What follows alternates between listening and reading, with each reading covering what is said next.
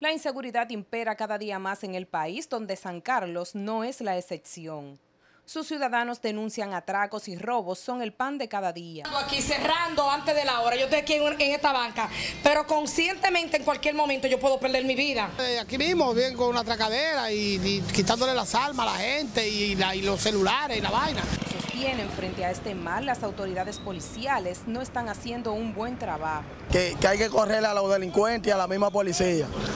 Vienen del destacamento con mira de que tú el que está en la esquina también es delincuente aunque te paren, tú tengas tus papeles, tengas tu cédula, tengas lo que tengas, como que te montan. Y en el destacamento se habla. Aquí nosotros los comerciantes, la policía lo que nos vive atropellando. Todos se tiran aquí en el negocio, si la gente está sentado tranquilo bebiendo, compartiendo, eh, revisando y tienen a uno en zozobra, no dejan a uno trabajar. Denunciaron además de una presunta mafia en el cuartel correspondiente, donde los agentes retienen los motores a los motoconchistas con el fin de cobrarles dinero para devolverlos. Raiza Méndez les informó.